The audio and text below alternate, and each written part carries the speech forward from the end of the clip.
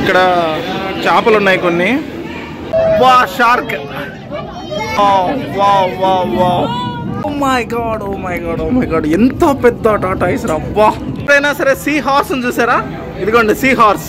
ఎంత బాగుందో అసలు మొత్తం ఫిషెస్ కలర్ఫుల్గా కలకలలాడిపోతుంది ఇక్కడ చూస్తే మీరు ఒరిజినల్ షార్క్ జా ఉంది చూడండి. మొత్తం దాని నోట్లోకి మనిషి వెళ్ళిపోతాడు అంత సైజు ఉంది. అందరికీ నమస్తే నేను మీ Rupesh Telugu traveller from Malaysia aquarium so Malaysia aquarium అనేది Malaysia కంట్రీలోనే one of the biggest aquarium అండి. అసలు ఏషియాలోనే one of the biggest aquarium ఇక్కడ ఐదు వేల రకాల సముద్రపు జీవులు అయితే ఉంటాయి సో ఈరోజు మనమైతే అక్వేరియం చూడబోతున్నాము. అసలు అనన్య సామాన్యమైన అక్వేరియము తప్పకుండా మలేషియా ఎవరు వచ్చినా సరే చూడాల్సినటువంటి అక్వేరియము దీని టికెట్ ప్రాసెస్ ఏంటి ఇది ఎక్కడ ఉంటుంది టైమింగ్స్ ఏంటి ఎలా ఎంట్రీ అవ్వాలనేది అంతా కూడా నేను మీకు లాస్ట్లో చెప్తా. ఏదో నార్మల్ అక్వేరియం లాగా టికెట్ తీసేసుకుని వచ్చే ప్రాసెస్ కాదు దీనికి చాలా పెద్దతంగా ఉంది. నేను క్రాంతి వెళ్తున్నాము. ఇప్పుడు మేము టికెట్లు అన్నీ కూడా ఆన్లైన్లో తీసుకున్నాం కాబట్టి డైరెక్ట్గా వెళ్ళిపోవచ్చు. సో ఇది ఇక్కడ ఒకలాగా ఉంటుంది అక్కడ ఒకలాగా ఉంటుంది మలేషియన్ పాస్పోర్ట్ హోల్డర్కి ఒకలాగా ఉంటుంది. సో నాన్ మలేషియన్ పాస్పోర్ట్ హోల్డర్కి అంటే ఫారినర్కి ఇక్కడ ఫారినర్కి ఒకలాగా ఉంటుంది. ఇన్ని తతంగాలు ఉంటాయి. ఈ డీటెయిల్స్ అన్నీ నేను మీకు లాస్ట్లో చెప్తా. సో ప్రజెంట్ మేము ఆన్లైన్లో టికెట్ అయితే బుక్ చేసుకున్నాము లోపలికి వెళ్ళి ఫస్ట్ అక్వేరియం చూపించిన తర్వాత ఇది ఎక్కడుంది టికెట్లు ఎలా బుక్ చేసుకోవాలి ఎలా చెక్ ఇన్ అవ్వాలి ఇది లోపలికి ఎలా రావాలని డీటెయిల్స్ అని క్లియర్ కట్గా చెప్తా. చలో.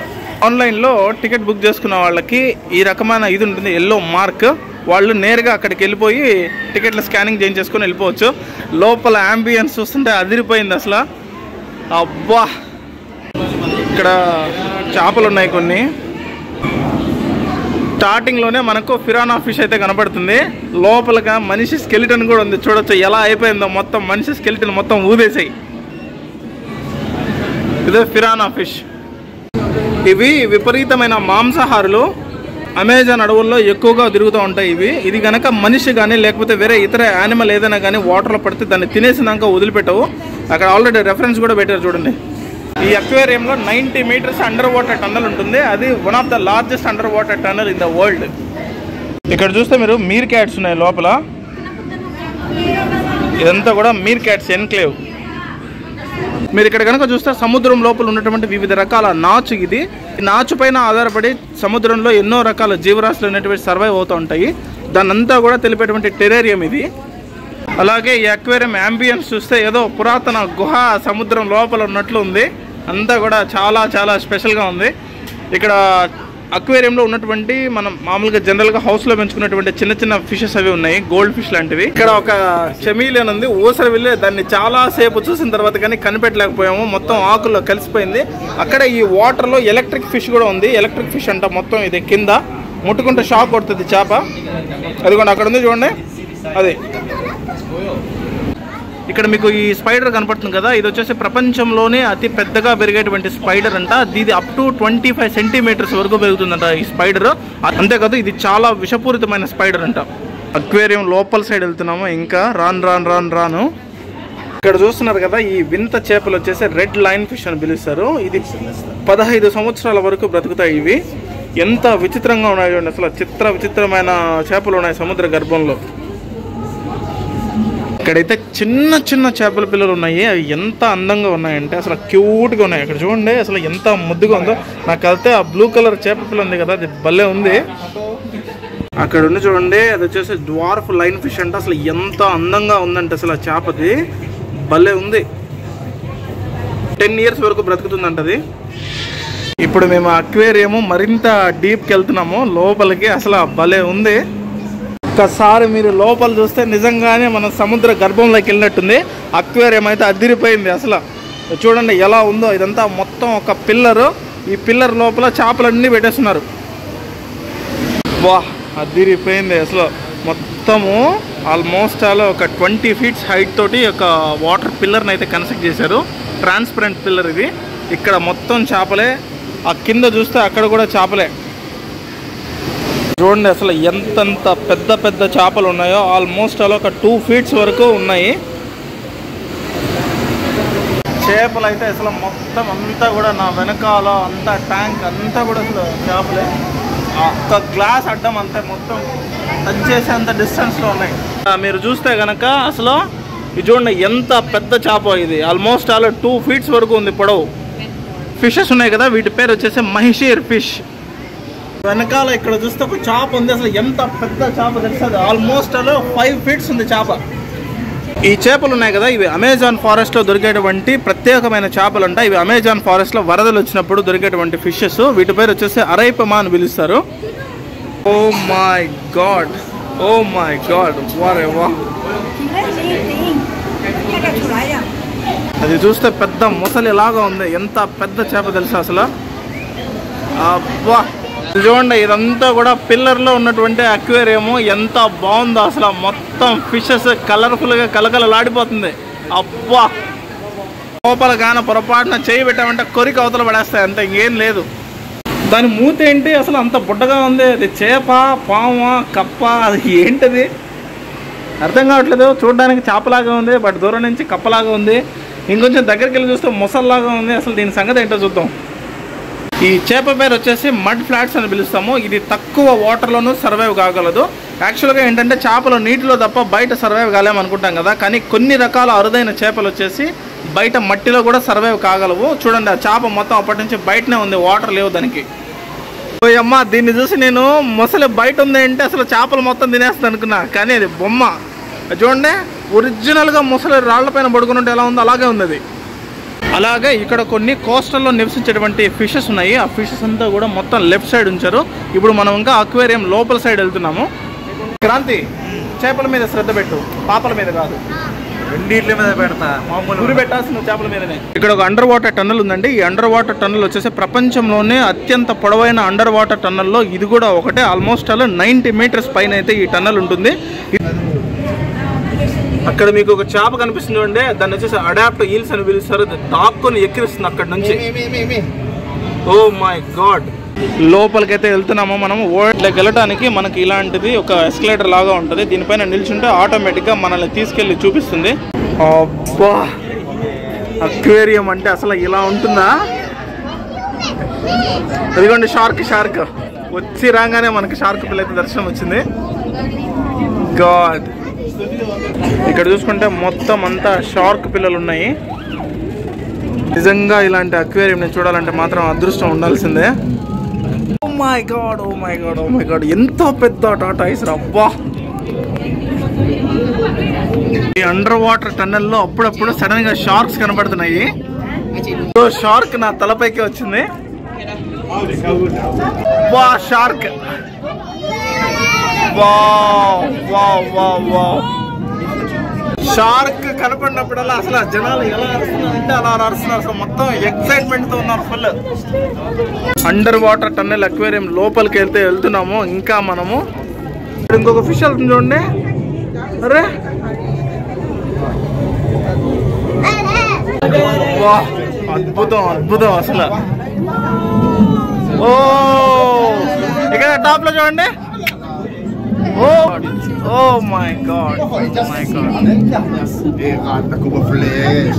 Oh విమానం లాగా వెళ్తా ఉంది అది తలపై నుంచి రా బాబు ఏం కావాలరా నీకు నా వైపు ఎందుకు చూస్తున్నావు నువ్వు ఓ మై గాడ్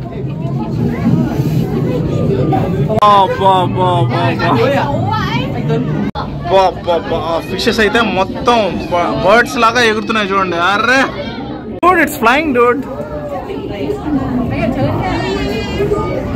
ఇంకా లోపలికి వెళ్తున్నాము మనము. అసలు చాలా పెద్ద పెద్ద ఫిషెస్ అంతా కనిపిస్తున్నాయి. మధ్య మధ్యలో సర్ప్రైజ్ చేసి వెళ్తున్నాయి. నా తలపై నుంచి వెళ్తా ఉంది చూడండి. ఫాలో అవుతుంది నన్ను. వేసేద్దాం ఈతని చేప ఉంది. ఫ్లయింగ్ ఫిష్ లాగా. అసలు ఎంత పెద్ద చేప అంటే అప్పటి నుంచి నా తలపైనే తిరుగుతుంది ఇది. చూడండి అసలు. తోక చూస్తే ఆల్మోస్ట్ అలా ఒక పెద్ద పాము లాగే ఉంది ఇది. మా ఏం కావాలరా నీకు? ఏంటి అప్పటి నుంచి? అసలు అక్వేరియం లోపల అండర్ వాటర్ టన్నల్ అయితే చూడటానికి రెండు కళ్ళు సరిపోలేదు. మొత్తం మా తలపైనే తిరుగుతున్నాయి చేపలు షార్క్స్ ఇంకా శాండ్ ఫిష్లు అన్నీ. మొత్తం చూస్తున్నారు కదా? ఇదిగోండి ఇదిగోండి ఇదంతా మొత్తం చేపలే. అక్కడ చూస్తే మొత్తం అదొక ఫిష్ ఎంత పెద్ద చేప అంటే అప్పటి నుంచి అది అలా ఎగురుతుంది వాటర్లో బా అండర్ వాటర్ టన్నెల్లో ఇప్పుడు ఇంకొక పార్ట్కి వెళ్తున్నాము. అబ్బా మొత్తం ఇక్కడ షార్క్స్ ఉంటాయి. చూడండి షార్క్ తలపైకి వచ్చిన అసలు దాని పళ్ళు చూడండి ఎలా ఉన్నాయో మొత్తం. అమ్మో. అబ్బా అబ్బా అబ్బా అక్కడ చూడండి అసలు ఎంత పెద్ద షార్క్ చేపో. ఇప్పటిదాకా ఎక్వేరియంలో చూసిన అతిపెద్ద షార్క్ ఇదే. అబ్బా.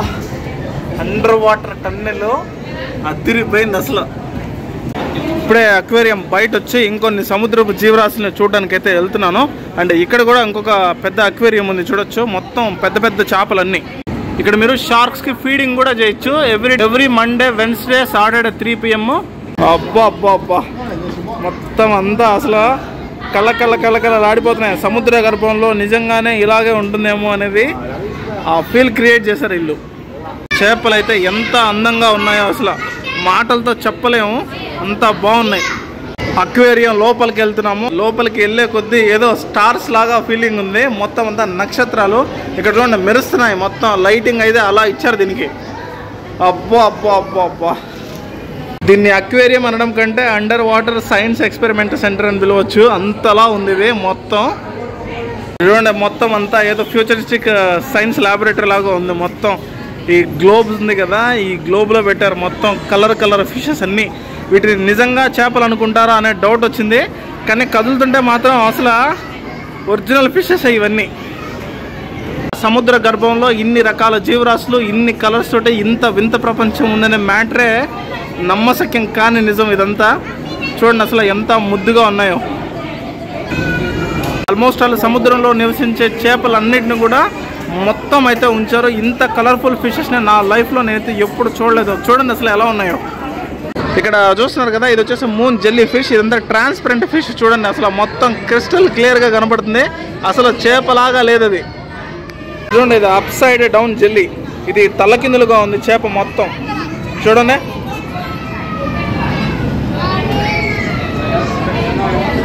ఎప్పుడైనా సరే సీ హార్స్ చూసారా? ఇదిగోండి సీ హార్స్ సముద్రపు గుర్రం ఇది. ఇది సముద్రంలో నివసించేటువంటి ఒక వింతైన జీవి. దానికి వీపు మీద ఫ్యాన్ లాగా చిన్న పార్ట్ ఉంది. ఆ పార్ట్ హెల్ప్ తోటి అది పైకి కిందికి ఎగరటము లేదా కిందకి దిగడం అలాంటివి చేస్తాం చూడండి అది స్వింగ్ అవుతుంది అటు ఇటు. ఇక్కడ చూస్తున్నారు కదా సీ హార్స్లో యాభై మూడు రకాల సీ హార్సెస్ అయితే ఉంటాయి. ఇది ఇంకొక రకము. ఇవి చాలా చిన్నగా ఉన్నాయి. అసలు కనపడడం కూడా చాలా తక్కువ రేర్. ఇక్కడ చూసుకుంటే మీరు సముద్రంలో దొరికేటువంటి కొన్ని రకాల చేపలు అలాగే వింత జంతువులు అవి చనిపోయినప్పుడు వాటిని యాస్టీస్గా తీసుకొచ్చి ఇక్కడ మ్యూజియం లాగా ఉంచారు.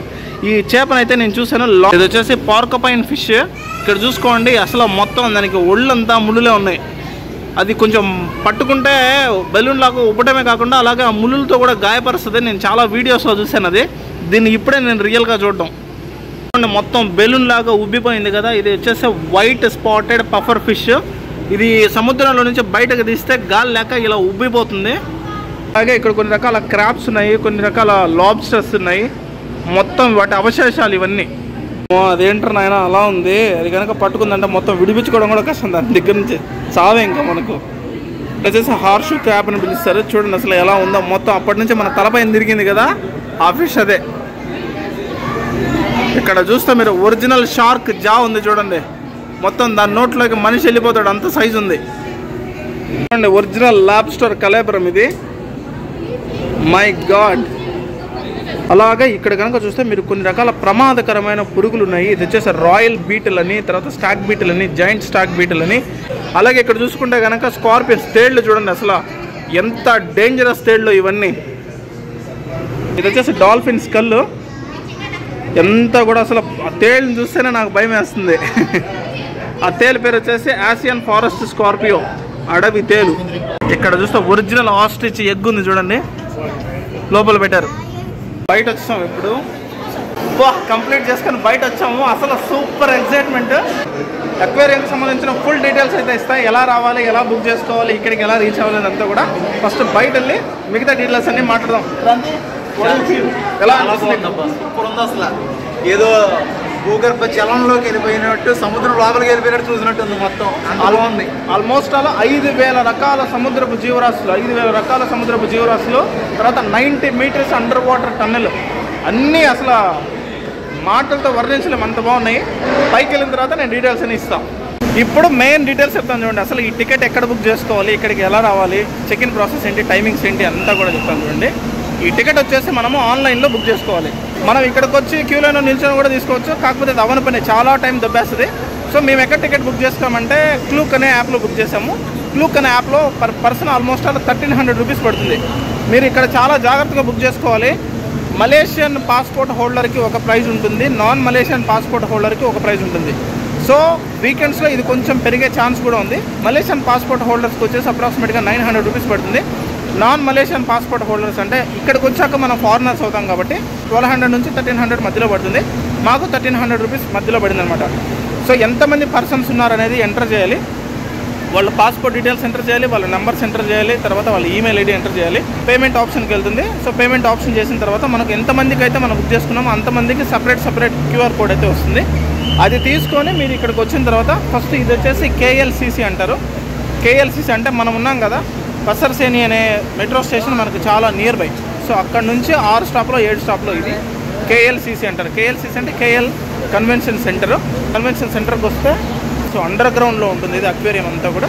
మీరు ఆన్లైన్లో బుక్ చేసుకుంటే కనుక మీరు క్యూ అంతా మీకేం అవసరం లేదు మీరు డైరెక్ట్గా వెళ్ళిపోవచ్చు.